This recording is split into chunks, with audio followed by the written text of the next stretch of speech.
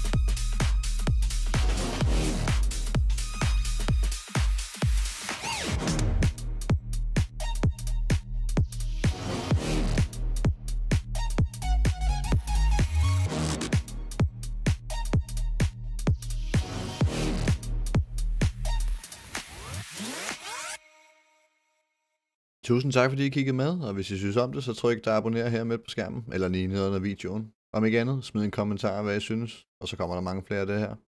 Jeg håber, vi ses næste gang til næste review. Lad os se, hvad der sker. So it gets out.